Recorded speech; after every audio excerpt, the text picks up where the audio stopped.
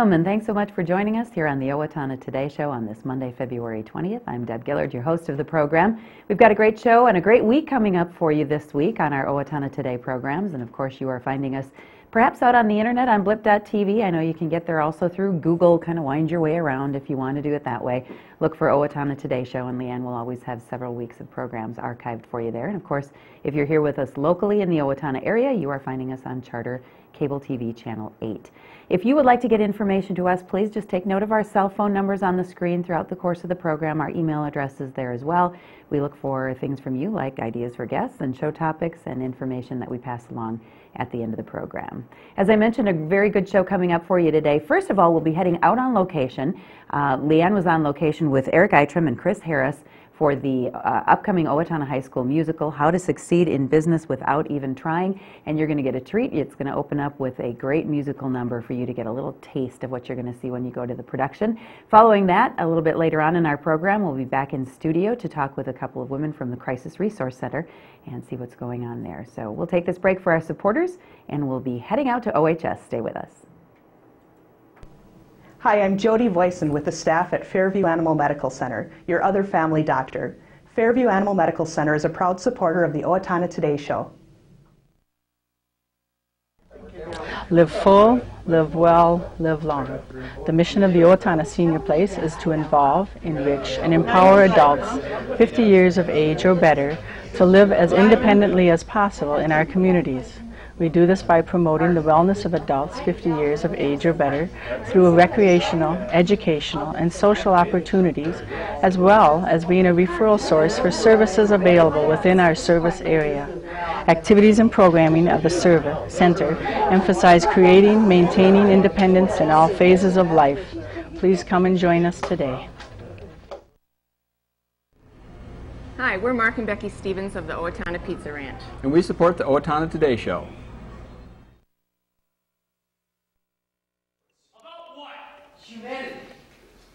See, Wally, even though we're all part of the same total setup, deep down under our skins there is flesh and blood.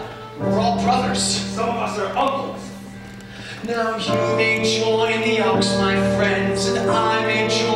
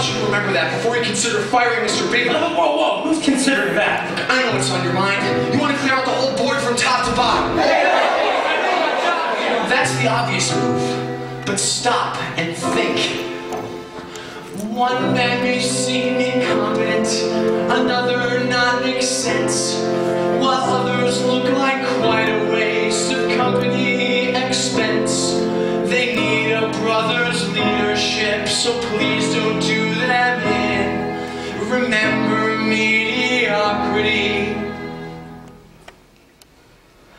is not a mortal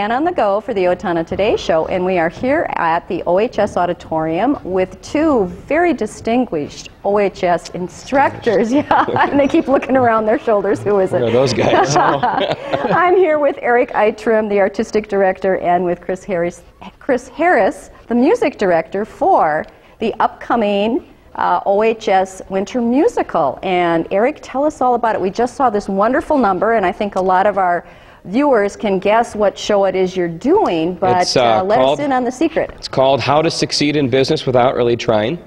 And the show focuses mainly on the character of Pierpont Finch, J. Pierpont Finch, who has uh, discovered this book that uh, tells him all of the secrets of succeeding in business without having to really do anything at all.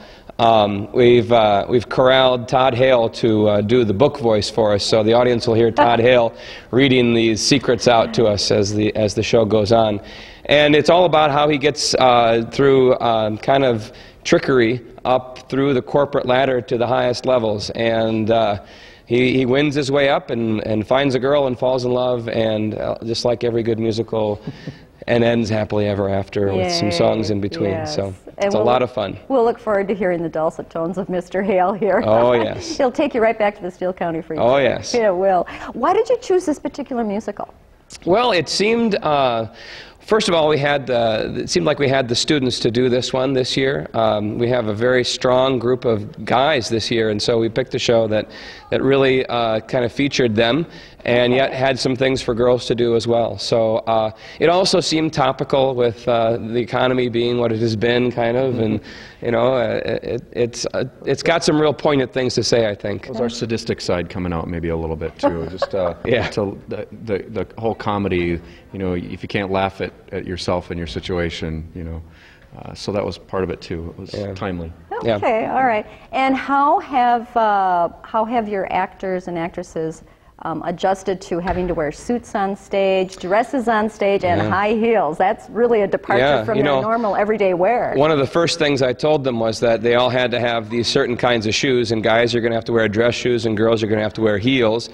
And they need to get them as soon as possible because they were going to be dancing, just like you saw in that Right, number. right. And uh, you move a little differently when you get, get those shoes on. It, it, uh, it really does change the way you move around the stage, especially with a slippery stage like this. So we've, we've had them uh, rehearsing in those shoes for quite a while, and uh, they're getting used to it. They still, the girls still complain about the heels that they hurt, and uh, they look for any opportunity to take them off. But uh, they, they've adjusted well to it, and um, I- I think they're better behaved when they're in costume. I think but it changes their whole demeanor. Especially with that tie around the Maybe that should be the uniform Yeah, for school OHS. We should our school uniform should be There 50s go. attire, suits and, and, and dresses. Why not? Why not? Yeah. Chris, tell us what have some of the challenges been musically? Well, right away, I would say this is one of the toughest uh, pit pit uh, books that we've had to play from. I mean, you can't. If you could look at it, you'd see that you can't go two measures without tons of accidentals all over the place. So, from just a purely technique. Tech, uh, technical perspective, um, it's an extremely challenging show for the pit. Uh, and from a conductor standpoint, you know, there's lots of changes two, four, three, uh, recitative, back to in tempo, and so it's been uh, a lot of hard work trying to work that out. And so what takes a lot of time is just getting used to how the actors are going to sing it and trying to get the timing down and things like that. So um, it's been really challenging, and I'm looking forward to these uh, starting tonight, this rehearsal, and the next five or so, four or five, just to get ready, uh, just to get that timing down and to get the, the pit comfortable with the actors and vice versa. So it's been really challenging, but um, as always, the kids seem to rise to that challenge, and that's it's really fun to see that growth. I mean, uh, yeah, it's a musical and it's fun, and people come to see it, but what they may not realize is that this is very educational. Uh, the where, from where they start to where they end up is just uh, it's great to see. So. Terrific. Well, we just have a minute left of the interview, so Erik, please tell us when we will get to see how to succeed in business without really trying. Well, it opens Thursday, uh, February 23rd at 7 o'clock here at the OHS Auditorium. It runs Thursday, Friday, Saturday, and then a Sunday matinee at 1.30. Um, I should also mention that we've been assisted very ably by uh, uh, Cindy Price, who's been doing the choreography Okay. for us. And that was a great choreography for that Oh, number that we just saw. That was wonderful. Thank you. And uh, Doc Grauberger has constructed this uh, enormous set behind us, complete with working elevators and uh, Oh, a nine-foot uh, level behind our heads here. So uh, there's uh, a ton of effort that's gone on both on stage and in the pit off stage and then by our student crew and, and others off stage. And, and Polly Shives has helped us out with costumes a lot. And we've been able to access costumes at LTO and, and we've had members in the community make a few things for us. So it, there really has been a great effort by lots and lots of people to put this together, not just the, the people you see on stage. Terrific. And how do we get tickets? Tickets are available online. You can go to the high school's webpage and click on Show Tix 4, number 4, U, letter U, dot com, and it'll take you to our, our website to get tickets. Or you can come to the door before the show. An hour before the show opens, they'll, they'll start selling tickets. Or if you have time during the school day, you can go see uh, Kurt Matichek from 8 a.m. to 11.30 at the tennis court doors in front of, by the high school. Okay, great. So lots of opportunities to get Yeah. tickets. We look forward to seeing the musical coming up All this right. weekend. And uh, gentlemen, break a leg. Well, thank you very much. All right, we're done. Hi, this is Dave Efforts with TPS Insurance, and we are proud supporters of the Owatonna Today Show. Hello, I'm Dr. Wilbert Pino, and I'm the new orthopedic surgeon at the Mayo Health System's Owatonna Clinic. I'm a general orthopedic surgeon who relocated here with my family starting January 9th. My of specialty are uh, pediatric and spine surgery, and I do um, general orthopedic surgery as well. I look forward to meeting you and um, be of of service to you if you have any orthopedic needs. Hi, I'm Doug Johnson with the Owatonna Business Incubator.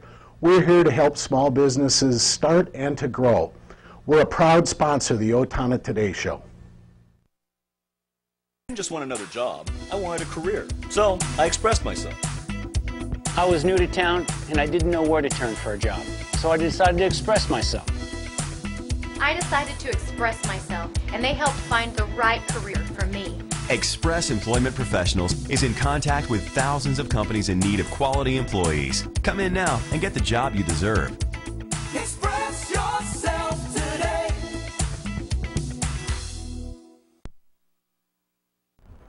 Did you know that it is illegal in the city of Owatonna to host or allow a gathering where minors will be consuming alcoholic beverages on your property or in your residence? Did you know it is illegal to provide minors with alcohol unless they are your own kids, in your own home, and you are present? Underage drinking leads to increased risks of future chemical dependency, engaging in more serious criminal activity, and becoming a victim of a crime.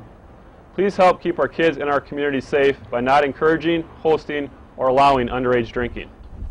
This is a message from the Owatonna Police Department and the Safe and Drug Free Coalition of Steele County. Hi, I'm Stormy Trom, reminding you that March is Food Share Month. Please join us for the 19th annual Hometown Sampler Concert at the Little Theater of Owatonna on March 2nd, 3rd, and 4th, benefiting the Steele County Food Shelf. Enjoy the musical offerings of the Bad Tangerines, the Gogs, Hot and Bothered, and the Mile 5 Band. Admission to the Hometown Sampler is a cash or food donation to the Steele County Food Shelf. Our goal is to raise $92,000 during the month of March. Help us kick off Food Share Month by attending the Hometown Sampler. Welcome back, and thanks again so much for joining us on this Monday, February 20th. Did you enjoy your little taste of the musical? It looks like it's going to be amazing. So I, I hope we'll see you there. It looks like it's going to be a lot of fun. We welcome in studio, as I mentioned, two women from the Crisis Resource Center. We welcome Lori Pfeiffer. Hi, Lori. Hi. And Ali Gibbs. How are you? Good. Lori's a little new to our program, and Ali's been here before, so we're going to get to know you just a little bit before we talk about all the things that we would like to. What brings you here to the Owatonna and Steele County area, Lori? Well, for the last three years, I've been in Rochester at the women's shelter there, working there, and then a position opened up here in Steele County, and I live in Blooming Prairie, so it's a, a lot closer for me to drive and, Okay. A little more close to home. Where are you originally from? I uh, grew up down in Illinois. Oh, um, really? Yeah, so I'm kind of a, a vagabond. All right. But, little um, traveling around little- and little eventually around, got and you here I am. and we're glad to have you. Thank you. And the area of the Crisis Resource Center that you are in charge of is? Uh, sexual assault program coordinator. okay. And we're going to be getting to a little bit of information on that too. Welcome back to Ali. How are you? Good, how are you? Good. And you are in charge of the Abused Children's gonna Program Coordinator. There you go. There's so many titles and things that change. I And always let people just yeah. I let people reintroduce themselves a lot of times if they're if they're back on. But welcome back. And we're here to talk about two things. We're a little ahead um, here at, in late February. We want to mention that April is uh, Child Abuse Prevention Month and Sexual Assault Awareness Month. Did I get those right, ladies? Yes. Okay. Um, so let's talk about both events, but let's start with uh, Ali. And we want to talk about your area of the program. If we can just kind of uh, remind our viewers of what you do, who you serve, and maybe some, maybe how many have been served in your area of the Okay. Resource Center. Um, we work with children 18 and under for any type of domestic violence. Um, sexual assault would be part of Lori's program. Um, so, domestic violence um, that involves children, if the children are present, child neglect, child physical abuse, harassment, and even under that would fall um, teen dating abuse. Okay. Sometimes other things come up, you know, the harassment can be kind of a broad Mhm. word to, to cover a lot of different things. Um, so we help all of those. Um, uh, the biggest one is probably children involved in a domestic violence situation in the home. Okay. And how many, this may not be something that most of our viewers know. I think we were talking a little bit ahead of time. People will ask you, well, how many, how many kids, how many children have you helped? Is it five? Is it 400? Is it, you know, where, where does it fall? Um, last year in, in Steele, well, some of the people we work with end up being from outside of Steele County, but majority at Steele County um, was 252 children under 18. Oh my goodness. And 112 of those were boys, so it's about half and half. Okay. Okay. And you serve all of Steele County? Yep, yep. Okay. The majority um, is from Owatonna because that's the biggest town in Steele County. Mhm. But 10 of those were Blooming Prairie, 20 from Medford, um, and then some from Allendale and other small areas around. Okay. It's mm, both unfortunate and but important to note that this is not just isolated to any Mhm. one area, that it is unfortunately widespread and even throughout our county, but the, the Resource Center is here to help. When someone calls um, or refers somebody to call, what, what kind of questions or what, what do you do to help them through things at the Resource Center, particularly in your area? Our biggest concern is um, whatever they need help with. So if someone calls and they don't have somewhere safe to sleep that night, Okay. or um, they just they want a safety plan, you know, maybe the person who's hurting them or their family member doesn't live in the home, but they're still concerned that there's a safety issue. So we'll help them with a safety plan or an order for protection or restraining order. Um, you know, maybe they're removed from the situation by now, but they still need some ongoing support. So we have a support group for women and a support group for children ages 4 to 12. Um, so it's just a variety of, of different things. Whatever their needs are, we want to help them meet those needs. Okay. We want to help them make informed decisions. So we just, you know, we want to give them as much information as we can and let them decide what the best thing to do is for their family. Okay, so it could be the very immediate needs Mhm. to m- much more ongoing. You have an event coming up, um, as do. always, in the month of April We to uh, acknowledge, I guess, and commemorate this uh, Child Abuse Prevention Month. And it is happening when? Um, Wednesday, April 4th Okay. at noon at the Owatonna Eagles is our annual Healing the Hearts of Our Children luncheon. Um, you know, we, we come and, and invite community members to join us and um, meet, meet at the Eagles and Find we'll out a little bit more about what you do and, Mhm. okay. We'll have a lunch and then about, you know, halfway through the hour, so 12:30 or so, we'll have a speaker um, start giving their presentation. Um, and this year we have Victor Vieth, who's spe- speaking about the five obstacles that prevent us from ending abuse. So kind of these things we need to overcome or accomplish in order to end abuse and, and specifically child abuse. Okay, all right, sounds very interesting. You have some raffle prizes, We do. good things, fun things going on during the event as well? Many local businesses and community members have been very generous and donated um, a, a great variety of gift certificates, products, um, you know, cookies and, and all kinds of good things. And so we have raffle tickets for $2 each going towards, um, again, this is a fundraiser event, so going towards that same cause. And then the raffle will be done the day after the luncheon. Okay. So people can buy tickets up until the luncheon, at the luncheon, and then we'll do the drawing the next day. Um, nobody needs to be present to win, so anybody can buy a ticket. Um, and we'll also have a silent auction at the luncheon. Okay, and I know you're looking for a good attendance at the luncheon too. How does somebody get tickets now? Give us a call, um, 451-1202, and or stop by our office. We can also do them by mail, but the easiest way would just be probably to give us a call. And tickets are available through Friday, March 23rd, so we've got some time yet to buy those tickets. Okay, Well, we want to make sure we allow a little bit of time here for Lori also to talk about her area. Um, Sexual Assault Awareness Month is also in the month of April, Yes. and so you will be acknowledging that. And also, we want to let people know about some training that's coming up too. But just so that, in here again, kind of along the same lines that we were talking with Ali, if you can give us some kind of statistics, idea as to um, who is served and how are they served through the Resource Center. Well, last year we served um, 61 victims of sexual assault, and that includes men and women. There were nine men and 52 women, and 46 of them were from Owatonna. Okay. Um, 35 of them are, were under age 18, so we serve all age ranges. Um, you know, the abused children sort of overlaps with the sexual assault program. Mhm. Um, you know, I would come in and serve the children that, that are uh, molested, sexually assaulted, and as and women, so all the way up in all age ranges Wow, and this is again throughout our county. throughout Steele County. Okay, all right. Some amazing statistics, really, and It's- kind it's of huge. blow It's your huge mind, problem. doesn't it? And, Yes. and I and I know, and we can't shut the door to that. We No. have to be aware that it's going on. No. So you're out there, and when we say Sexual Assault Awareness Month, what is it? What are some of the main things you would like people to know or to remember? Well, just that, um, you know, every two minutes somebody in the United States is sexually assaulted. Um, it's every two minutes. We've been here for, you know, seven, eight minutes, and that's, that's four people who've been sexually assaulted. Wow. And that's, you know, that's our, our friends and our family, that's men, that's women, our sisters, our mothers, our, our children. It's, it happens all around us, and it, and it, it doesn't stop. Those are scary statistics. Al- Also, along the same lines that I talked with Ali too, what can someone expect when they um, call into the Crisis Resource Center and you're there to help them? What What Well, are your We're there, thanks to our volunteers, we're there 24 hours a day. If, if the phone rings, a human is going to answer it 24 hours a day. Um, if, if, it, if we get a call to the emergency room, as advocates, we'll go out to the emergency room. We will assist somebody in, in the exam process.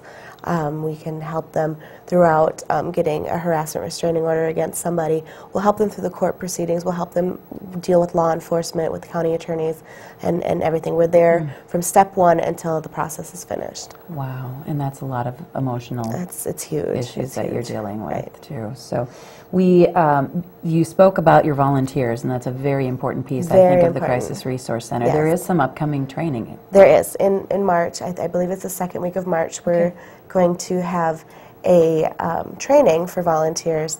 And if anybody's interested, it's a 40 hour training, it's free. Um, and all we ask is after the training is complete that our volunteers pick up one shift a month. Okay. And we ask that our volunteers stand. But without our volunteers, we can't have a human answering the phone 24 hours a day. Um, we need to be able to serve victims when the abuse happens. And um, so we need our volunteers. They're very important. We appreciate them so much. So, if you're out there and you feel like you can help and would like to take part in the training, you guys have a Twitter. Yes, You're on Twitter. Twitter, and Facebook. I think we've got that there. I think they can probably just look for you, Yep. correct? Yep, um, under. Crisis Resource Center, maybe of Steele County. Yes. Okay. Um, phone number, as we mentioned before, 451-1202. If you've got any questions about what either Lori or Ali do, or know of somebody that needs help, or certainly want to be a part of the events or the months, um, to give you a call. And thank you so much for the work that you Thank do and for joining us today. Thank you. Okay. Good luck with the event. Okay. thanks. We'll take a break for our supporters, and we'll be back to wrap it up for today. Hi, Warren Abraham, Abraham Consulting Technologies, your one-stop technology shop. We support the Owatonna Today Show. Owatonna Public Utilities, real people, real reliable, real progress. Making life a little easier day after day. Taking pride in our community, listening to what you say. A voice you can talk to.